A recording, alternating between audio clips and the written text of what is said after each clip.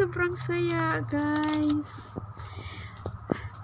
Alam nyo, guys, nashock ako kasi yung partner ko, guys, may dala siyang ito, guys, yung galing sa shop. So, free lang siya, guys. Galing sa shop dito. So, even dito, ito, napaka-expensive nito. So, ito yung paborito ko. Ito rin siya. Ayan. So, bubuhayin ko lang siya, guys. Pinubuhay ko itong mga...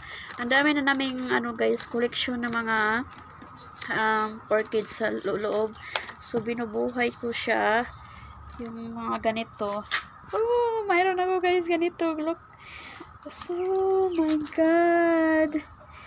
Ayan, bubuhayin ko yan siya. Tapos, ayan, mayroon siya mga basket-basket, flower pot.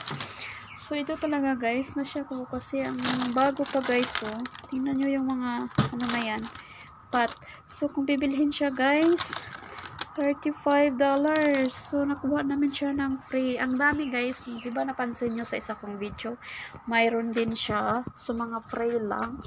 So, ito na, ang free din. Free din to lahat. So, binubuhay ko lang yan siya, guys, mga pang-indoor plants.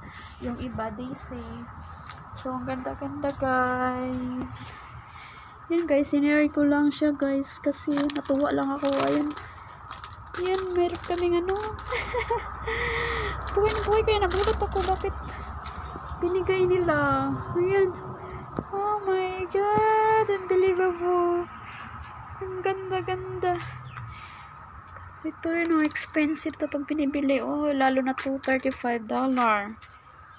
So, now we get free one. Ang ganda.